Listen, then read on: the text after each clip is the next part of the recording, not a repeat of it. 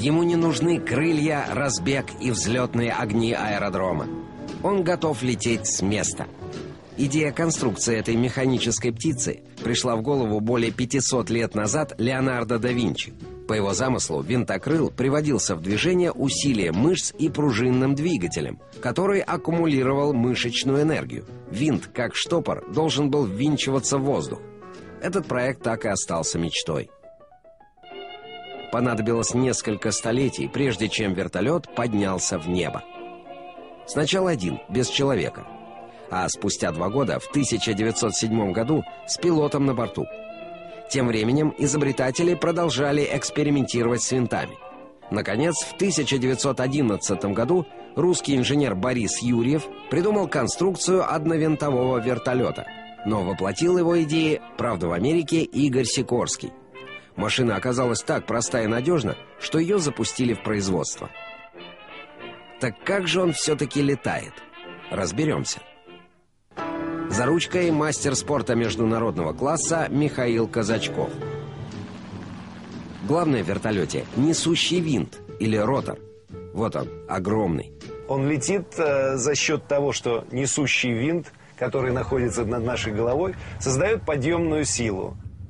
При взятии ручки на себя автомат перекоса, находящийся на несущем винте, изменяет угол установки лопастей.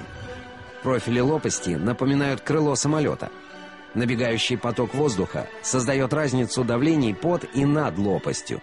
Так возникает подъемная сила. Если лопасть повернуть, увеличить угол установки, подъемная сила вырастет. И когда она превысит силу тяжести, вертолет взлетит. Интересно, как теперь его заставить лететь, например, назад? На помощь пилоту опять приходит автомат перекоса, главный механизм управления вертолетом. Когда лопасть проходит над носом вертолета, автомат перекоса увеличивает ее угол установки, а когда та же лопасть проходит над хвостом, уменьшает. А значит, меняется и подъемная сила. Над носом она будет больше. Вертолет наклоняется. Теперь винт толкает машину не только вверх, но и назад. Если у всех лопастей угол увеличить одновременно, вертолет просто поднимется выше. Точно так же управляют движением вправо-влево. Правило одно.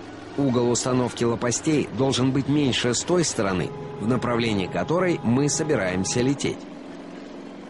Вот этот винт, кстати, вращается со скоростью 6 оборотов в секунду. А теперь вопрос на засыпку.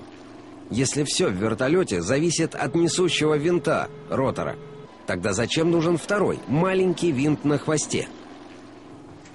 Есть две педали, которые по ошибке воспринимают за газ и тормоз. На самом деле это, опять же, органы управления вертолета. С педали идет привод на хвостовой винт. Не будь его, главный винт вертолета вращался бы в одну сторону, а вертолет в другую. Это закон физики.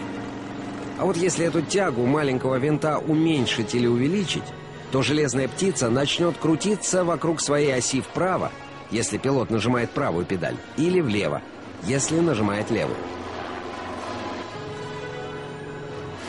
Теперь можно внимательно рассмотреть окрестности.